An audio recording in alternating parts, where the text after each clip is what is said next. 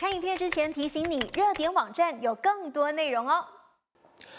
最近 KK 便利店流年不利，因为袜子风波惹上麻烦。乌青团长阿克玛在这件事情上不断的开炮，并且号召杯葛行动，被人批评他是在煽动仇恨。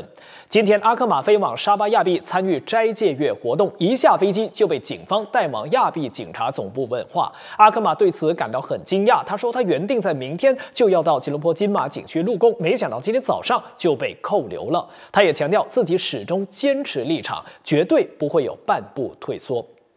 随后，全国总警长拉扎鲁丁也发了文告，证实警方是因为阿克玛针对 KK 便利店袜子风波的发言而对他展开调查。警方已经接到了两宗针对阿克玛的投报，所以目前援引煽动法令及通讯及多媒体法令对案件展开调查。他也促请民众呢不要再继续渲染这项课题了。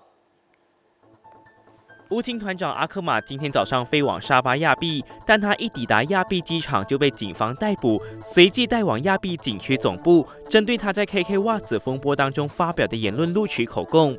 阿克玛被扣查的画面也在网上流传，他当时候还对着镜头微笑，并强调他一点都不害怕。No fear, no surrender. No fear, no surrender. 随着袜子风波在阿克玛号召杯葛和大力炒作之下演变成暴力事件，导致古晋的 KK 便利店被扔汽油弹，这点就引起了东马民间组织的不满。沙拉越人民心愿协会与沙巴祖传地捍卫者组织发表联合文告，建议沙巴和沙拉越政府禁止阿克玛入境东马。其余被点名禁止入境东马的人士还包括了华裔穆斯林讲师郑全行、华裔伊斯兰传教士黄伟雄、伊斯兰传教士赞里和沙基尔。沙拉越人民心愿协会宣传主任彼得佐汉在接受八点日报访问时表示：“让那些言行极端的人入境，只会破坏社会的和谐。” So you can see a lot of foreigners in Sarawak, especially in Kuching. This is uh, part of the reason why we doesn't want any troublemakers to come to Sarawak and create problem. Otherwise, all these people will run away. Nobody will come. 彼得佐汉表示，沙拉越政府曾经禁止许多的西马政治人物入境，就连首相安华的女儿努鲁伊莎也曾经被沙拉越移民局挡下，最终被迫折返。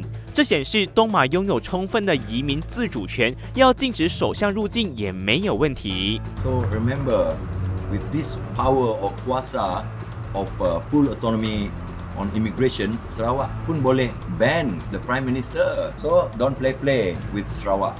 彼得佐汉强调，马来西亚不是马来亚，它不只是属于某个族群或某个宗教。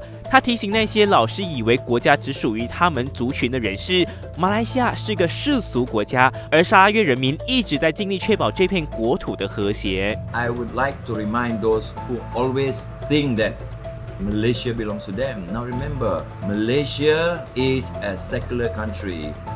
Malaysia is not Malaya. Malaysia belongs to all Malaysian. Malaysia doesn't belong to one race and one religion.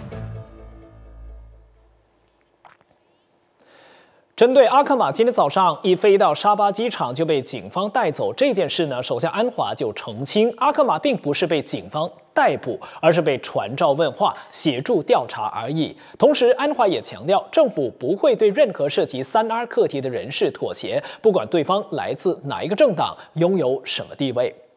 而行动党秘书长陆兆福则认为呢，警方要求阿克玛协助调查，只不过是在履行职责。就连行动党元老林吉祥也曾经被盘问，就不代表你作为政府的一份子就不用被警方审问了。